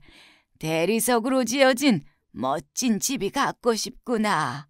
그런데 이게 웬일이에요? 할아버지의 말이 끝나자마자 다 쓰러져 가는 오두막 집은 없어지고 그 자리에 멋진 대리석 집이 지어졌어요. 이게 정말 내 집이란 말이야? 할아버지가 집 안으로 들어가 보았더니 집 안에는 멋진 가구와 보석들이 가득했어요. 이방 저방 구경을 하고 커다란 침대에 누워 포근한 이불을 덮고 작은 돌을 주머니에 넣고 잠이 들었죠. 다음 날 옆집에 사는 청년이 할아버지를 찾아왔어요. 할아버지, 이게 어떻게 된 일이에요? 어떻게 이렇게 멋진 집을 지으셨어요? 할아버지는 청년에게 작은 돌을 보여주며 숲속에서 있었던 일들을 이야기해 주었어요. 청년은 돌을 만져보기도 하면서 부러운 눈으로 할아버지를 보았어요. 여보게, 여기 침대는 아주 크고 좋다네. 오늘 밤에는 여기서 자고 가게나. 정말요? 정말 그래도 될까요? 청년은 기뻐하며 커다란 침대에 할아버지와 함께 누웠어요. 청년은 할아버지가 잠들기를 기다렸다가 할아버지의 주머니 속에 들어있는 작은 돌을 훔쳤어요. 그리고 작은 돌을 바닥에 세 번 두드렸어요. 힘센 장사들아, 나와라. 이 집을 강 건너편에다 던져놓거라. 청년이 소원을 빌자 장사들이 나와서 할아버지의 집을 강 건너로 옮겨놨어요. 청년은 집을 옮기고 나서 작은 돌을 가지고 도망갔어요. 다음 날 아침 잠에서 깨어난 할아버지는 깜짝 놀랐어요. 이, 이게 어찌 된 일이야? 멋진 대리석 집은 어디 갔을까? 그리고 내 돌, 내 소원을 이루어주는 돌은 어디 간 거야? 할아버지의 집은 다시 오두막집으로 변해버렸고 집안에 있던 보물들은 사라지고 남아있는 건 강아지와 고양이뿐이었어요. 할아버지는 슬퍼서 엉엉 울었지요. 할아버지가 울자 강아지와 고양이도 슬퍼졌어요. 야옹아, 우리가 할아버지의 돌을 찾아오자. 강아지와 고양이는 강가로 갔어요. 야옹이 너는 수영을 못하니까 내 등에 타. 강아지는 고양이를 태우고 강을 건너 청년이 살고 있는 대리석 집에 도착했어요. 밤이 되기를 기다렸다가 창문을 통해 집 안으로 들어갔죠. 강아지와 고양이가 작은 돌을 찾으러 여기저기 돌아다녀 봤지만 작은 돌은 어디에도 보이지 않았어요. 강아지와 고양이는 청년이 잠들기를 기다렸다가 청년의 방으로 들어가 보았어요. 멍멍아, 청년 좀 봐. 작은 돌을 입에 물고 있어. 청년은 돌을 훔쳐가지 못하도록 입에 물고 잠이 들어 있었어요. 고양이와 강아지는 돌을 어떻게 하면 가지고 갈 수 있을까 고민했어요. 멍멍아, 내가 좋은 생각이 있어. 내 꼬리를 후추통에 넣었다가 청년의 코를 간지럽게 하는 거야. 그럼 재채기를 하겠지? 그래, 좋은 생각이야. 고양이는 후추통에 넣었던 꼬리를 청년의 코에 대고 간지럽히기 시작했어요. 청년은 코를 벌름대더니 크게 재채기를 했죠. 그러자 입에 물고 있던 돌이 튀어나왔어요. 그때 고양이는 재빨리 돌을 물고 강아지와 도망쳤어요. 야옹아, 우리 빨리 강을 건너야 하니까 어서 내 등에 올라타. 강아지는 고양이를 등에 태우고 다시 강을 건넜어요. 한참을 가다 보니 고양이가 돌을 입에 잘 물고 있는지 궁금했어요.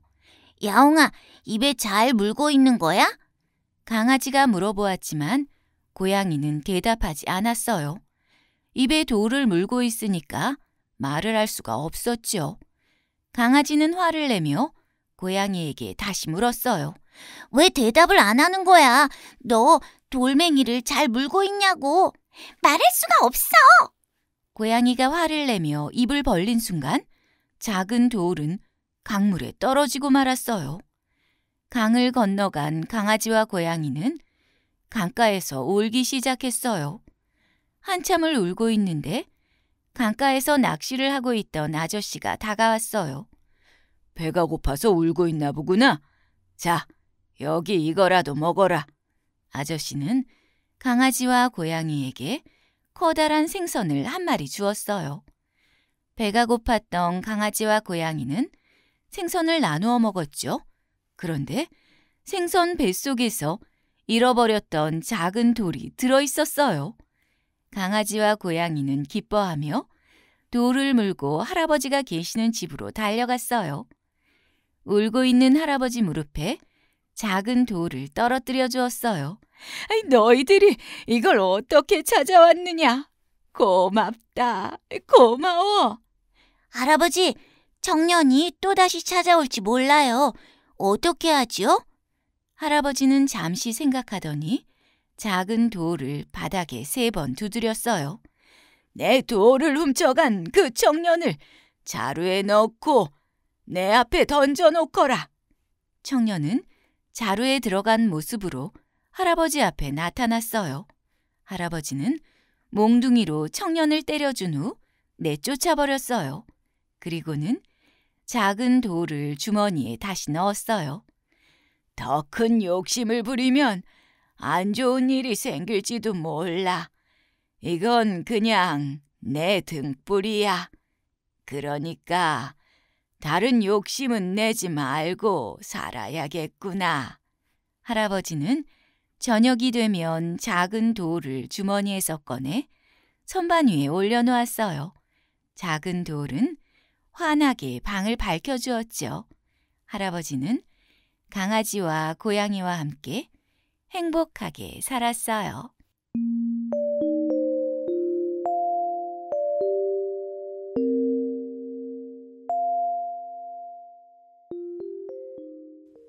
신농 이야기 중국 신화에 등장하는 신농은 반인 반수로 사람의 몸에 소의 머리를 가진 전설 속의 황제예요. 신농의 아버지가 누구인지는 알 수 없었고 어머니는 제후 유교 씨의 딸이자 제후 소전 씨의 비인 여등이었지요. 여등은 항상 부지런하고 바쁘게 움직이며 일을 했어요. 어머니, 아버지, 일 다녀올게요. 농가 밭에서 곡식을 키우는 일은 여등에게는 즐겁고 행복한 일이었어요. 여등이 콧노래를 부르며 걷고 있는데 상쾌한 바람이 불어왔어요. 음, 오늘은 좋은 일이 생기려나? 바람도 시원하고 날씨도 정말 좋은걸? 여등은 기분이 좋아서 하늘을 올려다보았어요. 그때 갑자기 하늘에 커다란 무지개가 생기더니 어디선가 신비한 모습을 한 용의 모습이 보였어요. 여등은 자기도 모르게 그 용을 따라가 보았죠. 용은 여등에게 따라오라는 듯이 천천히 움직였어요. 여등이 용과 점점 가까워오자 용은 여등의 주위를 빙빙 돌더니 하늘로 올라가 버렸어요. 멍하니 하늘을 바라보던 여등은 신비한 기운이 몸을 감싸는 느낌을 받았어요. 정말 이상한 일이야. 몸이 좀 이상한 것 같은데. 이런 일이 일어난 지 몇 달이 지나자 여등의 배는 점점 불러왔어요. 남자를 가까이 한 적이 없었던 여등은 마음이 불안했어요. 배가 부르기 시작한 지 열 달이 가까워지자 여등은 집에 있을 수가 없었어요. 어디로 가야 하지? 여등은 이 생각 저 생각을 하며 길을 걷다가 잠시 쉬려고 나무에 기대어 앉았어요. 그때 어디선가 아기의 울음소리가 들려왔죠. 이게 무슨 소리야? 어디서 아기의 울음소리가 들리는 거지? 여등은 주위를 두리번거려 보았지만 어디에도 아기의 모습은 보이지 않았어요. 그런데 이게 웬일이에요? 아기의 울음소리가 점점 더 가까운 곳에서 들리는 것 같았어요. 그 소리는 바로 여등의 배 안에서 나는 울음소리였어요. 여등은 깜짝 놀라서 자리에서 벌떡 일어났죠. 이게 무슨 일이야? 이게 어떻게 된 일이지? 내 뱃속에서 아기 울음소리가 나고 있잖아. 어쩌면 좋아? 여등은 당황해서 어쩔 줄 몰라 했어요. 그리고 배는 점점 더 아파왔어요. 여등은 이제 걸을 수도 서 있을 수도 없었지요. 너무 지친 여등이 나무숲에 쓰러지자 여등의 뱃속에서 씩씩하고 튼튼한 아기가 태어났어요. 그런데 그 아기는 사람의 몸을 가지고 있었지만 머리에는 뿔이 달린 소의 모습이었어요. 그뿐만 아니라 아기가 태어나자 땅은 지진이 일어난 듯이 흔들렸고 아기의 주위에는 커다란 우물 아홉 개가 생겨나고 불길이 솟아올랐죠. 대체 이 아기는 누굴까? 사람도 아니고 괴물인가? 아니면 신이란 말이야? 여등은 반인 반신의 아기가 태어난 것도 놀랍고 무서운데 주변에서 일어나는 일들을 보니 더 무서웠어요. 아기를 버리고 달아나 버릴까? 여등은 이렇게 생각했지만 울고 있는 아기를 두고 갈 수도 없었죠. 어떡하지? 아기를 두고 갈 수도 없고 내가 키울 수도 없으니. 숲속에서는 여등도 울고 아기 신농도 우렁차게 울어대고 있었어요. 신농이 어찌나 크게 울었던지 하늘에 있는 신들까지도 아기의 울음소리를 듣게 되었어요. 신들은 땅을 내려다보며 신농의 울음소리인 것을 알게 되었지요. 무슨 일이냐?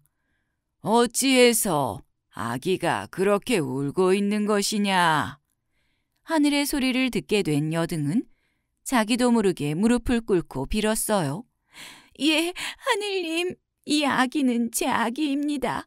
하지만 저는 반인 반신의 아기를 어떻게 키워야 할지 모르겠습니다. 여등은 눈물을 흘리며 하소연했어요. 걱정 말거라. 내가 도와주마. 그 아기는 장차 이 나라에 꼭 필요한 일을 하게 될 것이다. 하늘에서 이런 소리가 들려오더니 숲속 동물들이 몰려왔어요. 동물들은 신농에게 젖을 먹이고 햇볕과 바람을 막아주었죠. 신농은 인간과 달리 빨리 자랐어요.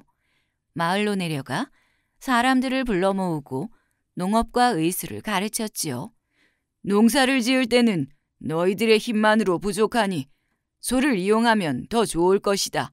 또한 내가 오곡의 파종법을 가르쳐 줄 테니 잘 보고 배우도록 하거라.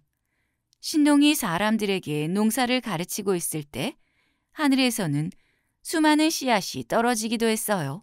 사람들은 이 씨앗을 모아 밭에다 심고 키워서 먹었죠. 아이고, 신농님 덕분에 우리가 이렇게 쉽게 농사도 짓고 좋은 곡식도 먹을 수 있네요. 그뿐 아닙니다.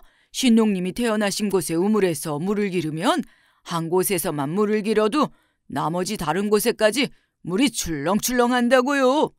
사람들은 이렇게 신농을 믿고 따랐어요. 신농은 농사일 뿐 아니라 의술에도 많은 업적을 남겼어요. 자기의 몸에 직접 실험을 해서 365종류의 약을 발명하고 신농 본초라는 책을 정리하기도 했어요. 신농님 덕분에 이제 정말 걱정이 없어요. 몸이 아파도 신농님께서 주시는 약으로 치료할 수 있으니까요. 신농은 사람들을 공평하게 다스렸고 사람들은 소박하고 성실했어요. 신농의 위세는 강했지만 드러내지 않았고 형벌을 만들었지만 사용하지 않았죠. 신농으로부터 이어지는 성씨가 바로 중국의 천수강 씨라고 하고 천수 강씨에서 갈라져 나온 한국의 진주 강씨도 신농의 자손이라고 해요. 또한 신농은 우수신의 모습을 하고 고구려 벽화에도 나타나고 있대요.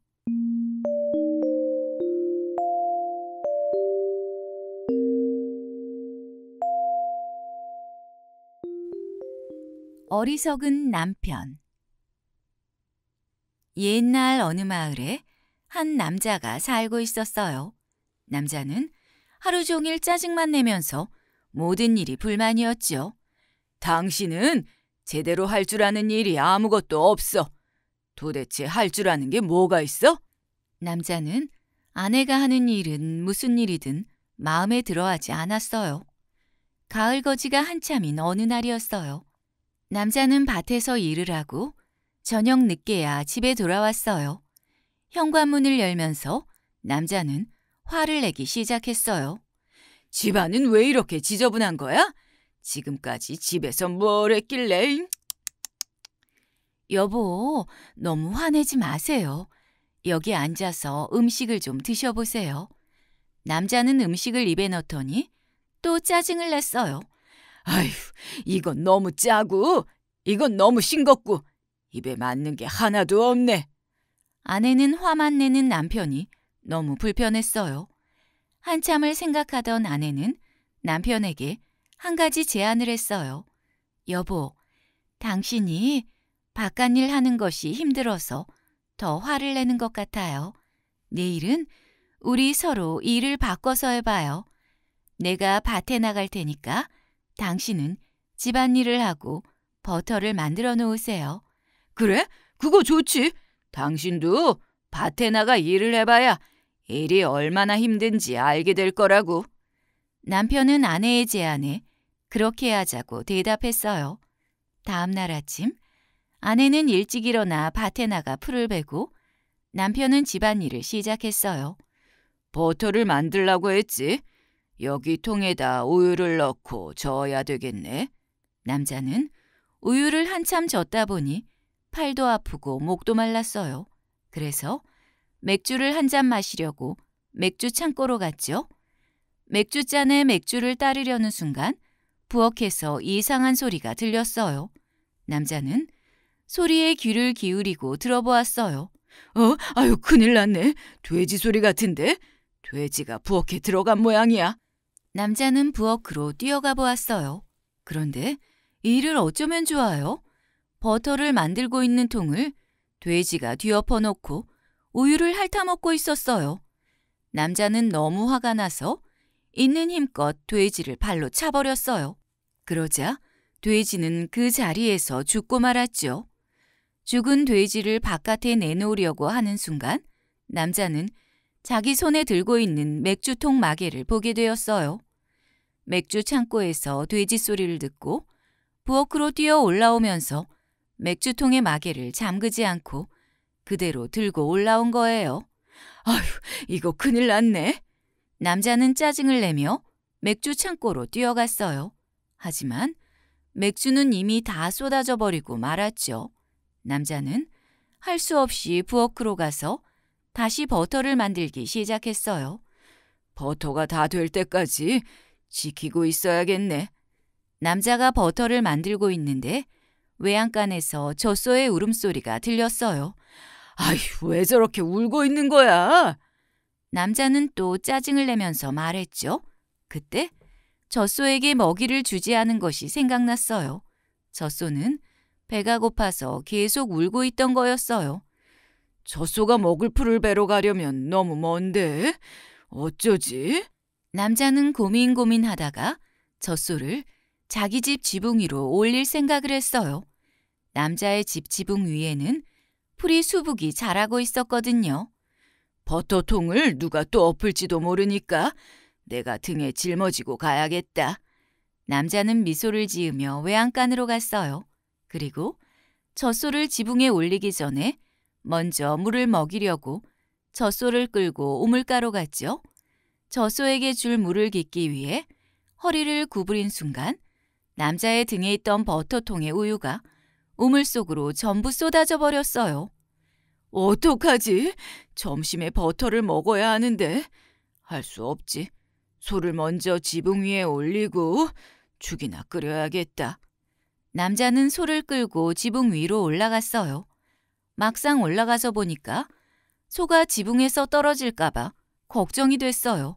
그래서 밧줄로 한쪽은 젖소의 목을 메고 다른 한쪽 끝은 자기 발목에 메고는 부엌으로 내려갔죠. 빨리 죽을 끓여야겠다. 남자는 죽을 열심히 끓이고 있었어요. 그런데 지붕 위에 있던 젖소가 풀을 뜯어먹다가 지붕에서 떨어지고 말았어요. 젖소가 떨어지면서 남자의 발목에 묶어놓았던 밧줄이 위로 치켜 올라갔어요. 그러자 남자는 부엌 천장에 대롱대롱 매달리게 됐죠. 바깥에 있던 젖소도 집벽에 대롱대롱 매달려 있었고요. 아무것도 모르고 밖에서 일을 하고 있던 아내는 남편이 도시락을 가지고 오지 않자 걱정이 됐어요. 무슨 일이 있나? 아무래도 안 되겠어. 집에 가봐야지. 아내는 함께 일하던 사람들에게 인사를 하고 집으로 돌아가 보았어요. 아내는 언덕 위에 있는 자기 집 벽에 뭔가 매달려 있는 것을 보고 깜짝 놀랐어요. 저게 뭐야? 대롱대롱 매달려 있는 저 커다란 게 뭐야? 아내가 가까이 가보니 자기 집 젖소가 음매거리며 매달려 있는 게 아니겠어요? 남편을 불러보았지만 집안에서 소리만 들릴 뿐 나오질 않았어요. 아내는 낫을 들고 젖소가 매달려 있는 곳으로 가서 밧줄을 잘랐어요. 젖소는 무사히 땅으로 내려올 수 있었지요. 그때 집안에서 남편의 비명소리가 들렸어요. 여보, 무슨 일이에요? 아내는 집 안으로 들어가 보았어요. 남편은 밧줄이 끊어지면서 천장에서 바닥으로 떨어지고 목과 머리를 다치고 말았어요. 그 후 남편은 아내가 하는 집안일에 다시는 아무 말도 하지 않았대요.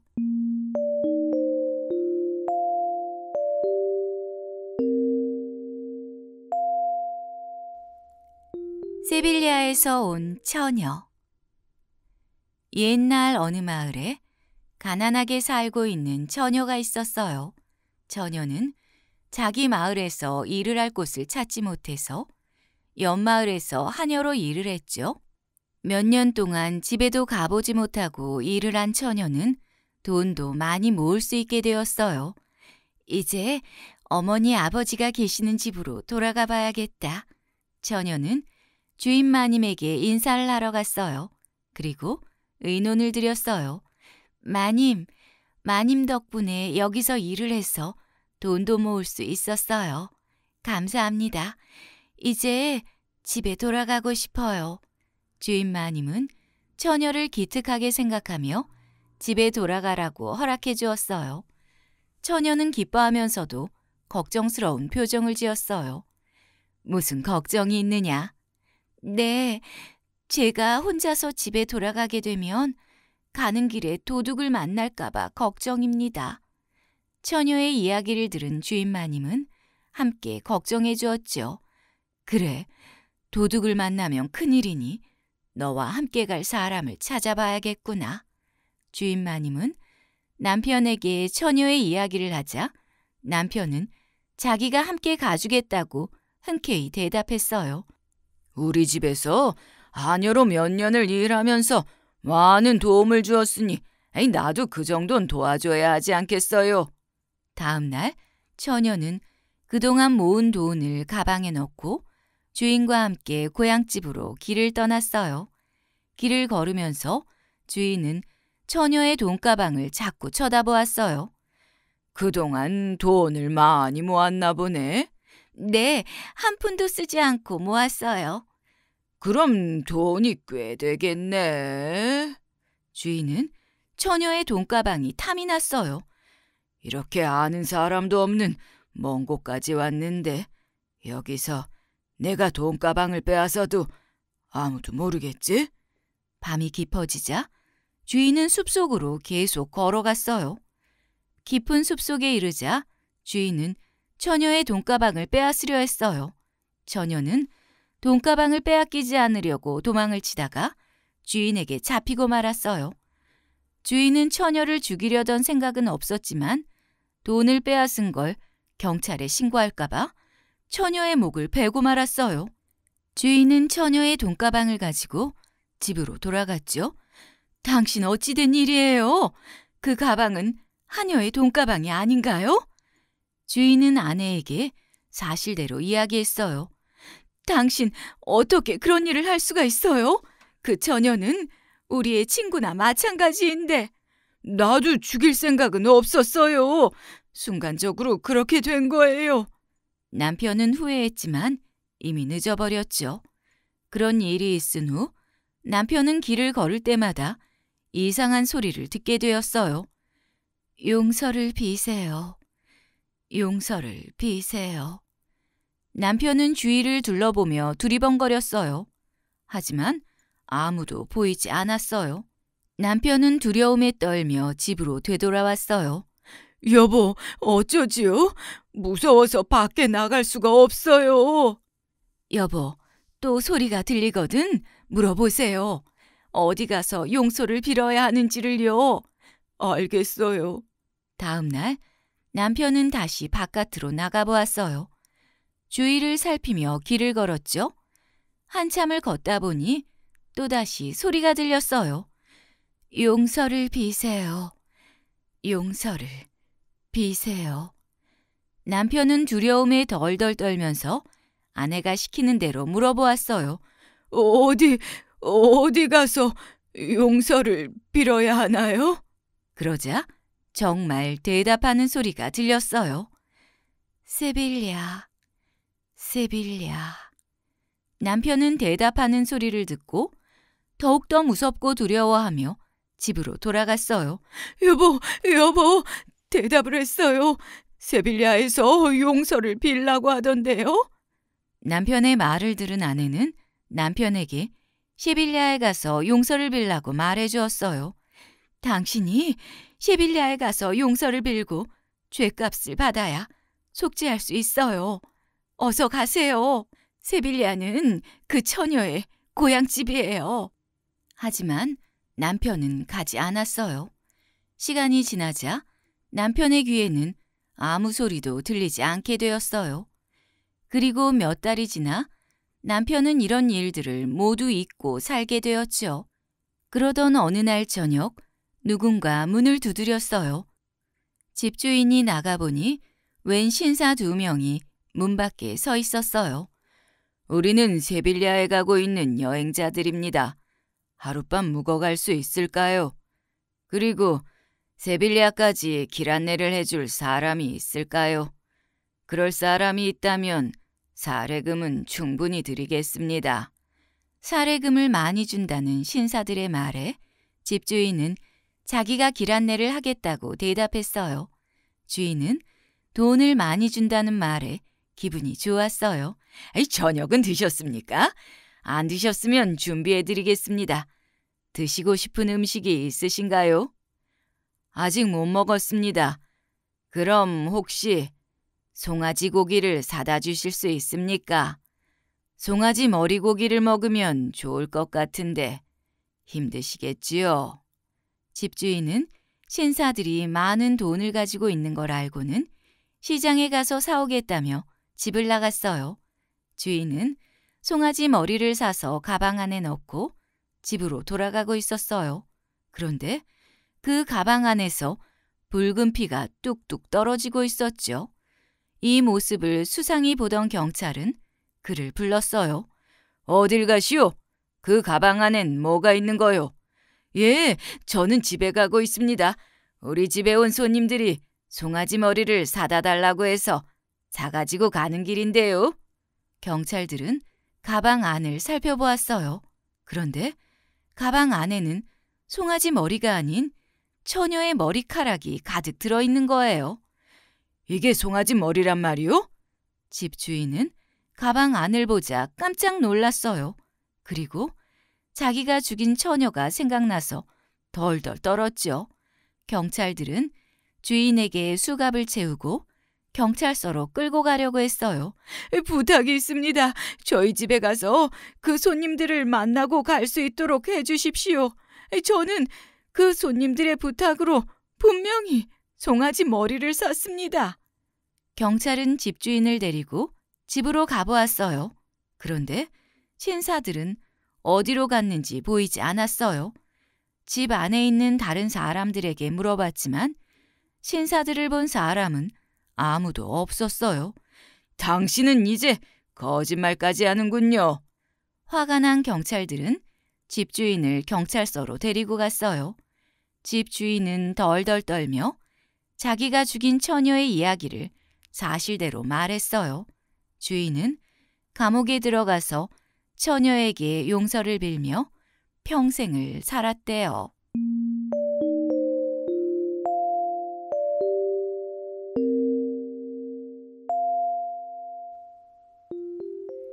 부자와 도둑 옛날 어느 마을에 돈 많은 부자들이 있었어요. 하루는 부자 친구들이 모여서 이야기를 나누었죠. 여보게, 자네 집은 괜찮은가?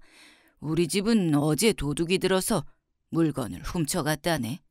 그 말을 듣고 있던 다른 친구도 도둑 맞은 이야기를 했어요. 그러자 그 옆에 있던 부자는 빙그레 웃었어요. 이 자네들은 집안 단속을 어떻게 하길래 도둑을 맞는단 말인가? 혹시 밤마다 문을 활짝 열어놓고 있는 건 아닌가? 우리 집은 도둑 맞은 적이 한 번도 없다네. 내가 문 단속을 아주 잘하거든. 아무리 대도일지라도 우리 집에서는 훔치지 못할 것이네. 그런데 그 부자 옆에서 이 말을 듣고 있던 사람이 있었어요. 그 사람은 그 나라에서 유명한 대도였어요. 대도는 그 부자를 혼내주기로 생각했죠. 부자가 신이 나서 열심히 이야기하고 있을 때 부자의 담뱃대를 훔쳤어요. 그리고 훔친 담뱃대를 들고 부자의 집으로 갔어요. 계십니까?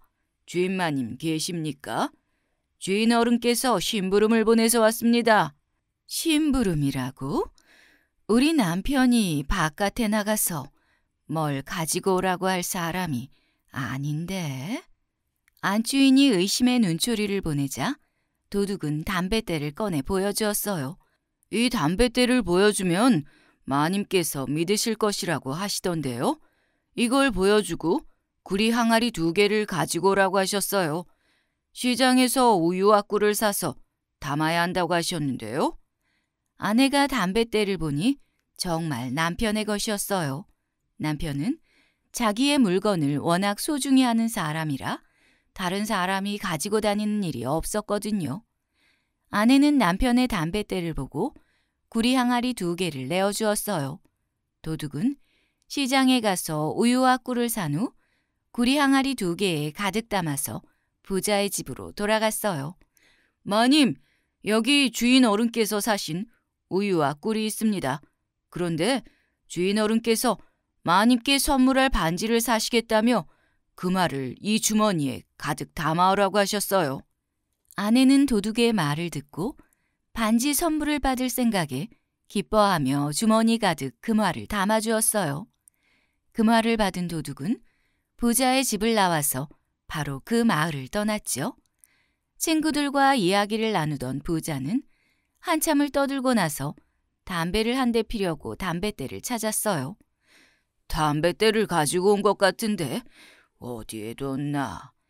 내가 물건을 잃어버리는 일은 없으니까 분명히 집에 두고 왔을 거야. 부자는 담뱃대를 가지러 집으로 돌아갔어요. 여기저기 돌아보며 담뱃대를 찾아보았어요. 하지만 집안 어디에도 담뱃대는 보이지 않았어요. 여보, 혹시 내 담뱃대 못 보았어요? 아까 당신이 어떤 하인에게 보냈잖아요. 담뱃대를 증거로 구리 항아리 두 개를 가져오라고 했잖아요. 부자는 깜짝 놀랐어요. 뭐요? 나는 그런 일을 시킨 적이 없어요. 그래서 구리 항아리를 줘서 보냈단 말입니까? 아내는 답답하단 듯이 다시 이야기했어요. 아니, 내가 구리 항아리를 보냈더니 당신이 거기에다 우유와 꿀을 사서 보냈잖아요. 그리고 나에게 선물할 반지를 산다면서 금화를 주머니에 가득 담아 가지고 오라고 해서 보냈죠. 내 반지는 사셨나요? 부자는 화가 나서 얼굴이 빨갛게 됐어요. 반지는 무슨 반지요? 그놈은 도둑놈이요. 부자는 소리를 지르며 도둑을 잡겠다며 밖으로 뛰어나갔어요. 여기저기 뛰어다니며 살피다가 드디어 도둑을 찾았어요. 도둑은 부자가 나오기를 기다리며 부자의 집 앞 커다란 나무 뒤에 숨어 있었어요. 부자의 모습을 본 도둑은 재빨리 부자의 집 뒷문으로 갔어요. 마님, 마님, 어서 주인 어른의 황금 칼을 주십시오. 주인 어른이 도둑을 잡았습니다. 아내는 집안에 가보인 황금칼을 도둑에게 주었어요. 어서 가거라. 어서 가서 이 칼을 주인 어른께 주거라. 도둑은 황금칼을 받아들고는 정말 도망가 버렸어요. 도둑의 뒤를 쫓던 부자는 온 마을을 다 뒤지고 돌아다녔어요. 하지만 어디에도 도둑의 모습은 보이지 않았죠. 날도 저물고 배도 고프고 지칠 대로 지친 부자는 집으로 돌아갔어요.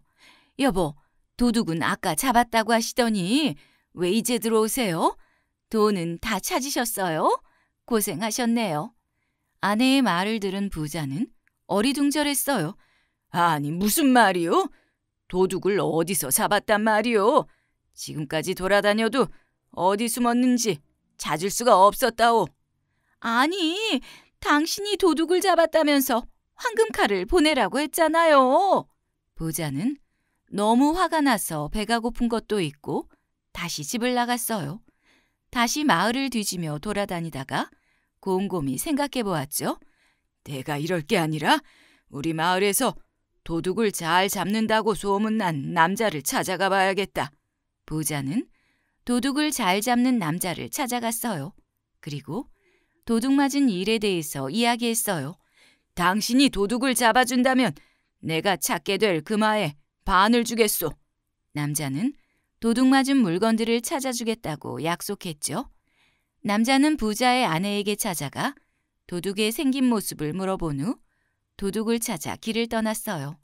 남자는 이 마을 저 마을 찾아다니다가 어느 커다란 기와집 앞까지 오게 됐어요. 그 집이 대도가 살고 있는 집이란 소문을 들었거든요.